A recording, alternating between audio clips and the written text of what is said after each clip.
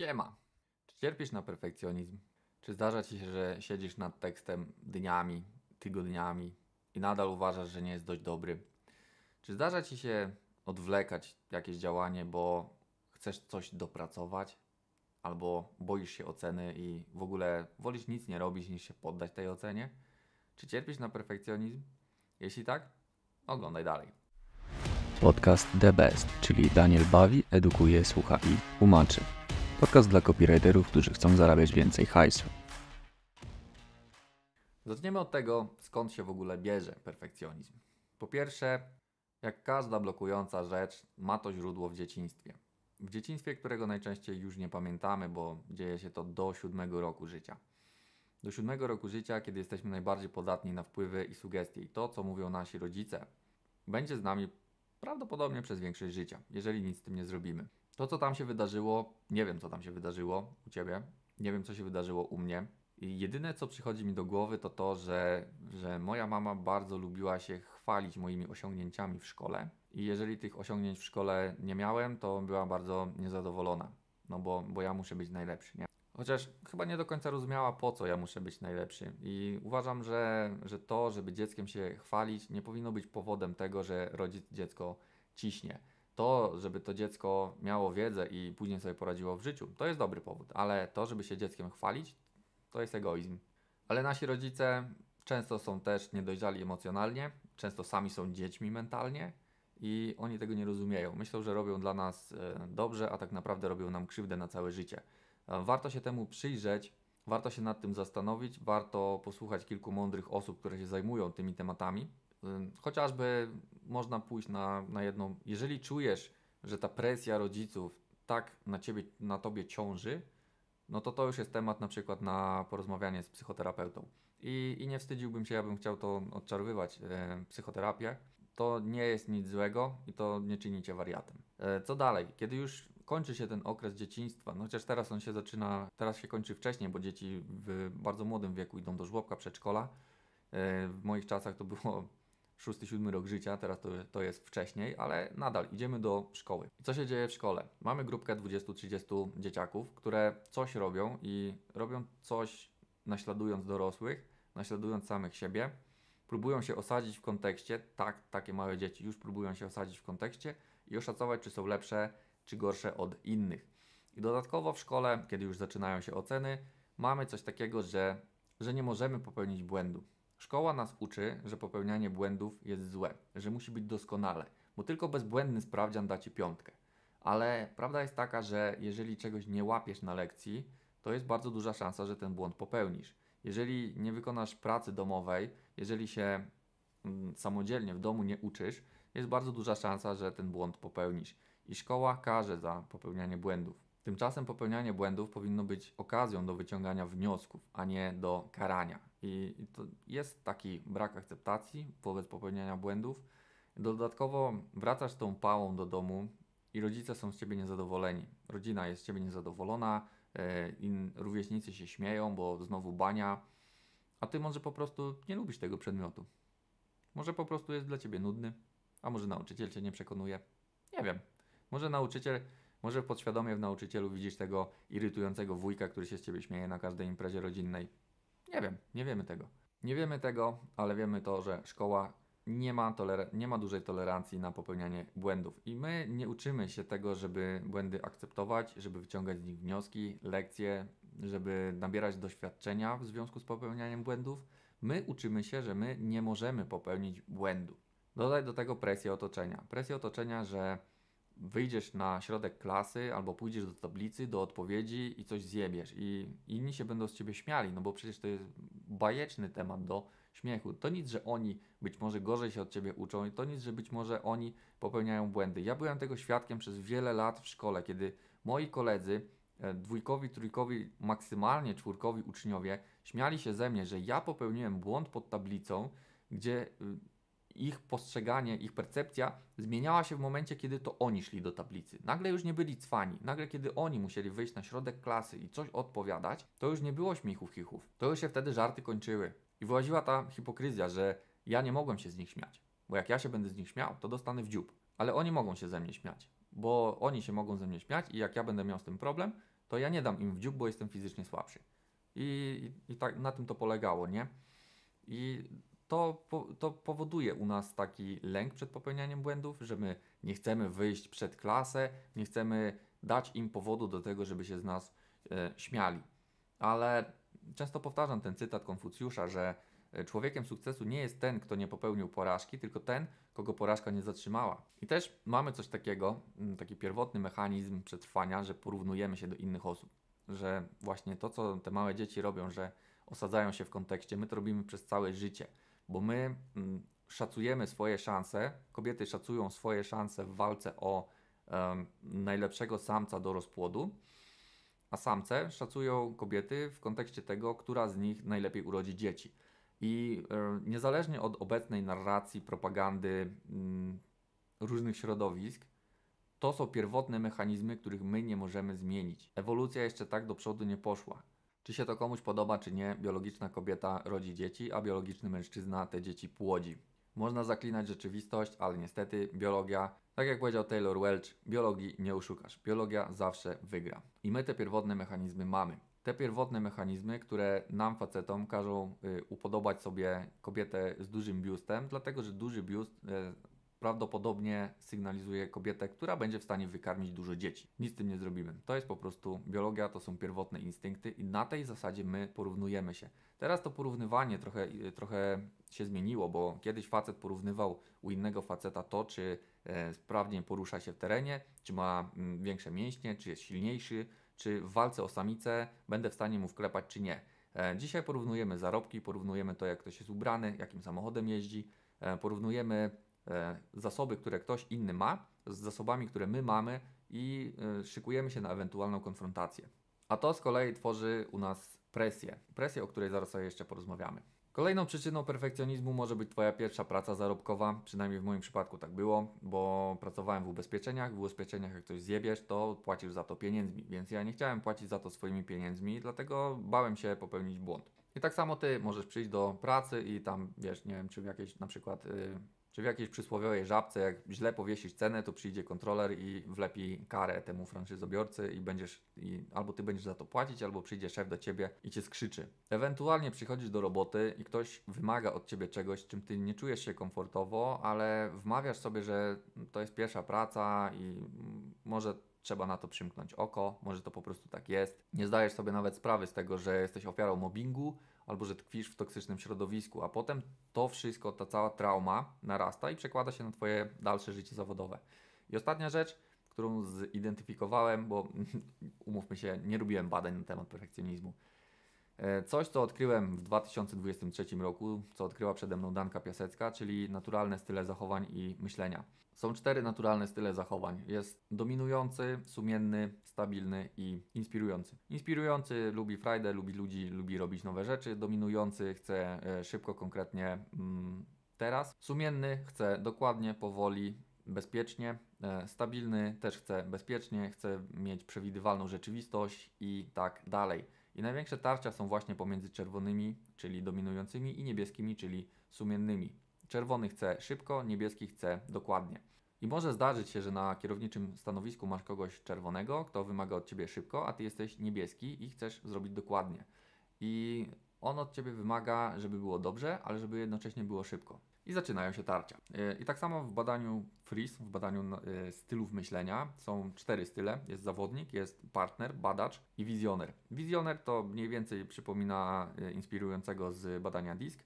Zawodnik przypomina dominującego, bo chce działać szybko, od razu, bez, bez zastanowienia. Partner bardzo się opiera na relacjach, a badacz to jest, badacz przypomina, przypomina styl sumienny, który się właśnie przykłada, zbiera informacje i robi wszystko dokładnie. I tu są po prostu tarcia, bo są, są oczekiwania i są zgrzyty komunikacyjne, z których my nawet sobie nie zdajemy sprawy. Jeszcze jedna bonusowa rzecz, czyli growth mindset. Mindset wzrostu. Mm, mindset wzrostu od mindsetu ustalonego odróżnia to, że ty odczuwasz nagrodę za trud, za wysiłek, jaki wkładasz w wykonanie danej czynności, a nie za efekt. Dzieci wynagradzane za efekt, czyli poprzez chociażby oceny w szkole, gorzej sobie radzą w życiu niż dzieci wynagradzane za starania. Jeżeli swojemu dziecku powiesz na przykład, że doceniasz to, że szanujesz je za to, że podziwiasz za to, ile trudu włożyło w nauczenie się czegoś, ile czasu spędziło na tym, żeby się czegoś nauczyć albo żeby wykonać jakąś pracę ręczną, to ono będzie o wiele bardziej zmotywowane do tego, żeby to powtórzyć. A jeżeli dziecko wynagradzasz za to, że dostało piątkę w szkole, za jakiś tam efekt, czy za jakieś procenty na sprawdzianie, to ono będzie zmotywowane do tego, żeby osiągać efekt, osiągać procenty. Nie w to, żeby, nie do tego, żeby włożyć trud w wykonanie danej czynności, tylko w to, żeby dostać piątkę. I Andrew Huberman mówił, że dzieci z tym ustalonym mindsetem, z tym wynagradzaniem za efekt, za, za wyniki, mają o wiele większą skłonność do ściemniania, do oszukiwania w szkole, do, yy, do ściągania na przykład. Różnica pomiędzy nimi, różnica pomiędzy dzieciakami z ustalonym mindsetem, a z mindsetem wzrostu, jest taka, że dzieciaki z mindsetem wzrostu, kiedy popełnią błąd, będą chciały dociec, gdzie popełniły błąd, żeby go w przyszłości uniknąć. A dzieciaki z ustalonym mindsetem, wynagradzane za wyniki, będą chciały ten błąd ukryć. Będą chciały ściemniać, będą chciały oszukiwać, żeby zasłużyć w dalszym ciągu na te pochwały, że ty jesteś taki mądry, ładny, piękny i zdolny. Z tego wszystkiego, z tego całego naszego doświadczenia z dzieciństwa, szkoły i pracy, bierze się to podejście, że nie mogę popełnić błędu. Ja mam cały czas przed oczami yy, koleżankę z klasy, Kasię, która dostała pałę na geografii, gdzie yy, facet od geografii zadał jej proste pytanie, a ona wolała dostać pałę niż powiedzieć źle. Naprawdę, wolała dostać pałę od razu, niech pan stawia jedynkę, ja nie powiem. I tyle, żeby się tylko z niej nie śmiali. I, I my w dorosłym życiu też wolimy nic nie zrobić, niż popełnić błąd. Więc jak masz stwierdzić, czy robisz coś dobrze, czy robisz coś niedobrze? Nie, najlepiej nie zrobić w ogóle. No ale niestety efekty nie biorą się z braku pracy ani z myślenia o pracy, tylko z samej pracy. Jakie są konsekwencje perfekcjonizmu? Po pierwsze, na projekty schodzi Ci więcej czasu niż powinno. Po drugie, masz wyrzuty sumienia z powodu tego, że schodzi Ci więcej czasu niż powinno. A jeżeli zrobisz szybciej, a niedokładnie, to masz wyrzuty sumienia, że robisz szybciej, a niedokładnie. Z tego tytułu, że schodzi Ci więcej czasu na projekty, masz mniej siana niż mógłbyś lub mogłabyś mieć. Bo niestety, ale w naszym zawodzie działa to w ten sposób, że kasę dostajesz wtedy, kiedy wyślesz dzieło. I co jeszcze? Perfekcjonizm powstrzymuje Cię przed działaniem. I podam Ci przykład. Swój przykład, bo swój przykład znam najlepiej. Gdybym nadal był perfekcjonistą, to ten podcast by nie powstał.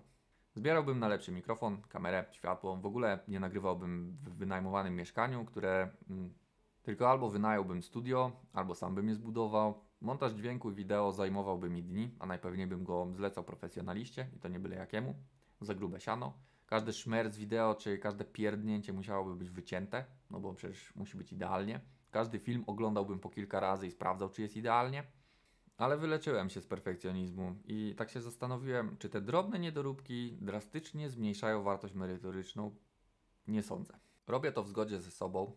Jest to ze mną spójne, bo robię najlepiej, jak mogę w konkretnych warunkach. I wierzę w to, że jeżeli przekażę Ci daną wiedzę te kilka miesięcy wcześniej, czy kilka lat wcześniej, czy w ogóle jeżeli przekażę Ci tę wiedzę, to ona już odniesie skutek. A jeżeli ja się będę grzebał z technikaliami, to nie pomagam ludziom. I po co? Jak pokonałem mój perfekcjonizm? To wyszło przypadkiem, bo jak klasyczny copywriter wziąłem na siebie za dużo roboty, więcej roboty niż mogłem przerobić i zaowocowało to tym, że z którymś tekstem bym się nie wyrobił. Więc oddałem niedopracowany tekst. I co się stało? Klient kazał poprawić. Nie powiesił mnie za jaja, nie odstrzelił mi głowy, nie skrzyczał, nie wziął sobie za cel zniszczyć moją reputację w przestrzeni publicznej, nie wszedł na Facebooka i nie powiedział, że jestem idiotą. Nic z tych rzeczy nie miało miejsca, po prostu wskazał błędy i kazał je poprawić. Więc ja te błędy poprawiłem. I to sprawiło, że przekroczyłem taką granicę, granicę strachu. Pokonałem sam siebie, pokonałem ten, ten strach i nauczyłem się tego w okresie bezrobocia, bo, bo jak nie masz kasy i nie masz jej skąd wziąć, to poznajesz nowe obszary życia Wiesz, jak normalnie jak masz rachunek, przykładowo za telefon do zapłacenia do 24, no to się spinasz, nie? Że o kurde, o kurde, do 24 muszę zapłacić, bo jak nie, to no właśnie, nie wiesz co. Więc grzecznie płacisz. A okazuje się, że jak przekroczysz ten termin, to jeszcze ci głowy nie urwie. Przyjdzie ktoś i ci przypomni, hej, słuchaj, do 24 miałeś zapłacić za telefon. I to jest to przekraczanie granic. To jest, nie namawiam cię do tego, żeby przekraczać terminy albo oddawać niedopracowany tekst, Chcę Ci tylko uświadomić to, że to może się zdarzyć i że to nie jest koniec świata. Bo jeżeli klient jest świadomy i w miarę wyrozumiały, zwłaszcza na początku współpracy, to zrozumie, że kuźwa, choćbyś się starał nie wiadomo jak, choćby kury piały, a skały srały, no ile masz tego czasu na tekst? Tydzień, dwa? Jeżeli klient oczekuje od Ciebie, że w tydzień lub dwa poznasz wszystkie niuanse jego biznesu, to ma nierealne oczekiwania. Nie sądzę, żeby to było możliwe. No come on, zejdźmy na ziemię. A jeżeli klient tego oczekuje i, i Cię później jebie za to, że, że ten tekst jest niedopracowany po tygodniu researchu jego, jego biznesu, to to nie jest klient dla Ciebie. Druga rzecz. Zauważyłem, że klienci i tak mają uwagi, że ile bym nie zrobił researchu, ile bym nad tym tekstem nie siedział, jak, jak bardzo bym się nie postarał, ile razy bym go potem nie czytał, to zawsze będą uwagi. I zrozumiałem to też, kiedy jeszcze na forum literackim pisałem opowiadania, że ile razy bym tego opowiadania potem nie przeczytał, ile ono by nie leżakowało, to zawsze jest coś, czego ja nie widzę, bo ja jestem związany z tym tekstem. Ja mam ten tekst wyryty w podświadomości. Ileś tam procent z niego pamiętam, niektóre rzeczy przeskakuję. Czy zdarzyło Ci się kiedyś przeczytać swój własny tekst, słowo po słowie, tak jak czytasz powieść albo artykuł, albo cudzego posta w mediach społecznościowych? Nie sądzę. Przeskakujesz. I przez to, że przeskakujesz, pewnych rzeczy nie widzisz. Pewne rzeczy są dla Ciebie oczywiste. Tkwisz w takiej bańce własnego tekstu, w bańce własnej twórczości i klient ma za zadanie tę bańkę przebić. Klient albo ktoś, kto pomaga Ci to sprawdzać. Następna, trzecia rzecz, to wprowadziłem coś takiego, że mówię klientowi, że pierwszy draft tego kopii będzie do XYZ, przykładowo do tygodnia.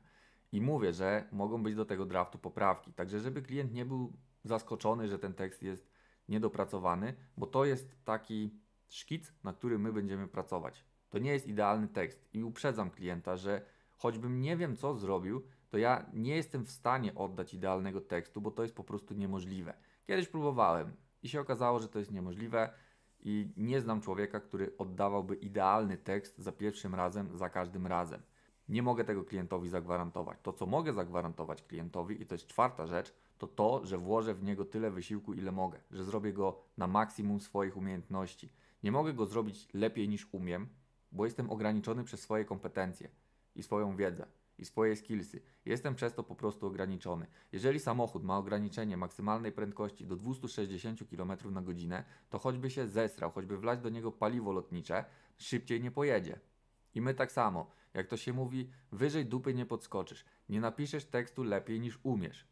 I musisz to zaakceptować, musisz się z tym pogodzić i twoi klienci też muszą się z tym pogodzić. I twoim zadaniem jest uprzedzić ich o tym, że no lepiej tekstu niż potrafisz nie napiszesz, bo nie umiesz. Jakbyś umiał, to byś napisał, ale nie umiesz. Musisz zrozumieć, że klient też nie oczekuje, że w ciągu tygodnia czy dwóch zgłębisz całą wiedzę o marketingu i copywritingu dla tego jednego kopii.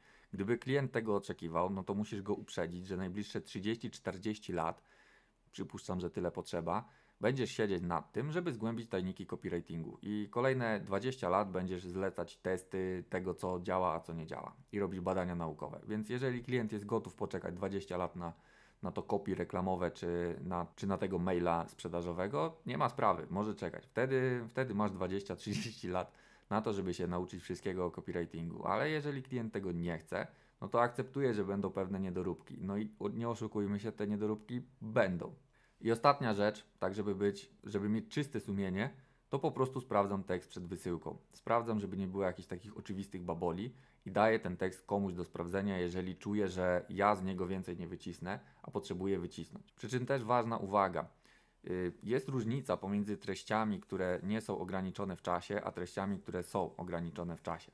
Y, poprzez treści nieograniczone w czasie mam na myśli na przykład artykuł blogowy albo treści na strony www. Je można poprawiać w nieskończoność. Nie powinno się, ale można. Teoretycznie taka możliwość istnieje. I to, czy strona www zostanie opublikowana, jeżeli nie ma tutaj jakiejś kampanii sprzedażowej, to, czy strona www zostanie opublikowana za tydzień czy za dwa, z reguły nie ma większego znaczenia. To, czy ten artykuł wejdzie na bloga za tydzień czy za dwa, też z reguły nie ma większego znaczenia. Co innego z mailami, co innego z ofertą sprzedażową. Jeżeli kampania, jeżeli reklamy ruszają powiedzmy 15 marca, więc powiedzmy do tego 1 marca masz dostarczyć wszystkie teksty, to do 1 marca masz dostarczyć wszystkie teksty. No i tu najczęściej już nie ma aż tyle miejsca na poprawki, bo ten tekst musi wychodzić w najlepszej swojej formie określonego dnia. czyli jest trochę bardziej nacisk na czas. I ostatnia rzecz, jak klient przychodzi do mnie ze zleceniem, jak na zapalenie pęcherza, to też informuję, że nie ma prawa ode mnie oczekiwać, że to będzie nie wiadomo jak, jaka jakość, bo ja potrzebuję się przygotować. Ja potrzebuję coś poczytać, ja potrzebuję się coś dokształcić, potrzebuję coś posprawdzać. Ja się potrzebuję przygotować do tego, żeby kopii było wykonane na maksimum moich możliwości. A jeżeli coś mam ograniczony czas, to jak z gotowaniem, jeżeli się spieszysz, to coś jest ryzyko, że coś nie wyjdzie. I ja o tym ryzyku klienta uprzedzam, że słuchaj, ja zrobię co mogę, dajesz mi 2 czy 3 dni na wykonanie tego kopii. Oczywiście mówię też, że prawdopodobnie będzie to kosztowało więcej, no bo ja muszę teraz rzucać robotę i robić to, ale jestem w stanie to dowieść, będzie to kosztowało więcej i nie gwarantuję, że to będzie tak zajebiste, jak mogłoby być. Po prostu o tym klienta uprzedzam, żeby klient nie był później zaskoczony, że ja w 2 czy 3 dni nie jestem w stanie wykonać takich maili czy takiej oferty sprzedażowej, jak y, gdybym miał na to dwa tygodnie. O tym mówiła Ela Markowska w podcaście, jak była u mnie, że dostała kiedyś zlecenie na zapalenie pęcherza, 3-4 dni do napisania iluś tam maili i część maili do sprawdzenia i klientka przyszła z pretensjami, że to nie jest tak zajebiste jak, y, jak maile copywritera Bartka Popiela. No ale co wyczynisz w 3-4 dni? Widziałem taki filmik, że dziewczyna robi obraz, dziewczyna maluje obraz i ma na to 10 minut, potem ma na to godzinę, a potem ma na to 10 godzin. No i różnica jest kolosalna. Link do tego filmu będzie w opisie. I tak samo jest z kopii. Jeżeli im więcej czasu masz na to kopii, tym lepiej możesz się przygotować. A jeżeli tego czasu nie masz, niech klient nie będzie zdziwiony, że ono nie jest tak dobre, jak mogłoby być. Jak sobie poradzić z perfekcjonizmem? Po pierwsze, musisz zdać sobie sprawę z tego, że dopieszczając do doskonałości, będziesz dopieszczać w nieskończoność. Nie ma doskonałych rzeczy. Nie ma. Nie ma doskonałego tekstu. Gdyby istniał copywriter, który na pierwszy strzał napisze doskonałe kopii, to byłby królem świata. Miałby dzisiaj miliardy i robotę na 120 lat do przodu. Nie ma doskonałości. Zauważ, że nawet wielkie firmy, które mają miliardowe budżety, nawet bilionowe budżety, popełniają błędy. Spójrz sobie na Google, spójrz sobie na Amazona, na SpaceXa. Czy pierwsza rakieta SpaceX poleciała skutecznie w kosmos i wróciła? Nie, rozjebała się. Ale dzięki temu, że się rozjebała, Elon Musk wie dlaczego i co trzeba poprawić. Czy on się będzie zastanawiał nad tym, e, czy ta rakieta jest doskonała, czy nie? Czy ta rakieta za ileś tam miliardów dolarów jest doskonała, czy nie jest doskonała? Nie, on ją po prostu puści i zobaczy, czy leci. Jeżeli leci, dobrze, powtórzymy to. Jeżeli nie leci, to poprawimy, żeby leciała. Krótka piłka. Musisz sobie też zdać sprawę z tego, że perfekcjonizm to nie jest nic złego, to jest dbałość o jakość, dążenie do doskonałości i to jest jak najbardziej ok. Wtedy, kiedy nie powstrzymuje Cię przed osiąganiem efektu. Następnie klient nie oczekuje doskonałego rozwiązania. Klient oczekuje akceptowalne rozwiązanie, bo klient woli mieć dobry tekst na czas niż doskonały tekst nigdy. Następnie musisz wiedzieć, że dużo lepiej idą nam poprawki niż estymacje. Lepiej jest napisać tekst, a potem go poprawiać, niż próbować od razu zrobić doskonały. Serio. Łatwiej jest na przykład, jak grasz w golfa, e, uderzyć raz, zobaczyć, gdzie piłka poleciała, a następnie na podstawie tego uderzyć drugi raz z tego samego miejsca, żeby poleciało lepiej. Serio, dużo lepiej to wychodzi. Dużo lepiej idą nam poprawki niż e, robienie rzeczy doskonale od razu. Tak samo z tekstem. Jak robisz coś pierwszy raz, lepiej jest napisać tekst próbny i zobaczyć, jak ci to idzie, niż próbować od razu oszacować, ile napisanie danego tekstu ci zajmie, bo najczęściej nie doszacujesz i później jest problem. Kolejna rzecz. Sheryl Sandberg powiedziała better done than perfect. Lepsze zrobione niż doskonałe. Dlatego między innymi ten podcast istnieje, bo ja wiem, że już mając te w tej chwili około 40-50 odcinków, te odcinki dały komuś wartość, a gdyby nie istniały, to by nie dały. Tylko też nie przegnij w drugą stronę yy, i nie traktuj tego powiedzenia jako usprawiedliwienie do oddawania gówna. Bo no nie, nie. To co powiedziałem wcześniej, tekst, praca musi być akceptowalna. Akceptowalna, spełniająca minimalne wymagania. Kolejna rzecz, na kliencie też możesz polegać. Musisz móc polegać na kliencie. To też nie jest tak, że klient oddaje Ci 100% roboty i Ty masz się tym zająć i ma być doskonale. No bo umówmy się, nie znasz biznesu klienta tak dobrze jak klient. Nikt nie zna biznesu Twojego klienta tak dobrze jak Twój klient. I klient też musi się zaangażować. Y, Aneta Łatwik nazywa to synergią projektowania treści. No bo Ty też coś od tego klienta potrzebujesz. To, to jest tak, jakby, jakbyś jakbym poszedł na randkę, siadł z dziewczyną i przez całą randkę tylko ja bym gadał. Czy to byłaby dobra randka? No nie. Albo jakby przez całą randkę ona gadała, a ja tylko płacę rachunek. Czy to byłaby dobra randka? Też pewnie nie. Co dalej? Porównywanie się. To, to, o czym już wcześniej powiedziałem, o tym pierwotnym mechanizmie, warto zdać sobie sprawę z tego, że wiele osób dzisiaj pozuje. Pozuje na kogoś, kim nie są, bo mają w tym jakiś interes. Nie porównuj swojego zaplecza z czyjąś wystawą. Ty widzisz siebie 24 godziny na dobę, a w socjalach widzisz urywek czyjegoś życia. Widzisz laskę, która spędza dziennie 3 godziny na tym, żeby się umalować. A ty porównujesz siebie po wstaniu z łóżka albo po wyjściu z kąpieli, że nie wyglądasz tak jak ta laska. Czy tak jak, jak facet, który um, godzinę ustawia się do zdjęcia na siłowni, żeby odpowiednio y, padło światło, a ty się z nim porównujesz. No, no nie, nie. Bo zauważ, że ci ludzie mogą na przykład przechodzić wypalenie zawodowe albo depresję. Później się okazuje, że, że osoba, która ma miliony na koncie, e, wygląda jak grecki bóg, e, okazuje się, że tak naprawdę ledwie żyje i gdyby nie silne środki mm, od psychiatry, to po prostu nie wstałaby z łóżka. No to, no to po co? To, to jest po prostu, to jest wydmuszka, to nie jest autentyczne i nie porównywałbym się do tego i na pewno nie ryłbym sobie tym bani. Jeżeli chodzi o tekst, oddaj weryfikację tego tekstu na zewnątrz. Znajdź sobie kolegę lub koleżankę po fachu, co się znają, niech ci sprawdzają teksty przed wysyłką do klienta.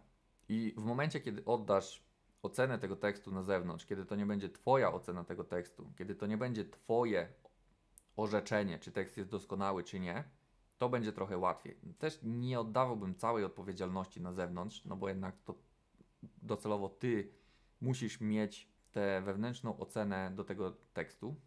Daj sobie pozwolenie na popełnianie błędów. Nikt nie jest doskonały i nikt nie będzie. Jeżeli uważasz albo dążysz do, jeżeli chcesz być doskonałym, albo uważasz, że ktoś wymaga od ciebie bycia doskonałym, porzuć tę osobę, nie kontaktuj się z nią. To nie bycie doskonałym powinno być celem, tylko dążenie do doskonałości, bo doskonałości nie osiągniesz. Jakby ktoś osiągnął doskonałość, mówię, władałby światem. Błędy to świetna nauka. Błędy lepiej uczą niż prawidłowe wykonywanie danej czynności, bo łatwiej się z nich wyciąga wnioski. Zaakceptuj błędy i to, że będą się pojawiać. Im więcej błędów popełnisz i im wcześniej to zrobisz, tym mniej błędów popełnisz w przyszłości. Jak to się mówi w sportach walki. Im więcej potu na treningu, tym mniej krwi na ringu. I ten pot na treningu to są po prostu błędy. Jeżeli na treningu dostaniesz skopa od kogoś w głowę, to już wiesz, że trzeba się zasłonić. I dzięki temu wyprzedzisz tych, którzy błędów popełniać nie chcą. W tym odcinku to jest tyle. Jeżeli Ci się podobało, jeżeli teraz już rozumiesz, jak ten perfekcjonizm działa, jak sobie z nim poradzić, zostaw lajka dla Spotify'ka, zostaw suba dla YouTube'a, daj znać tym algorytmom, że tu jest fajnie i siema.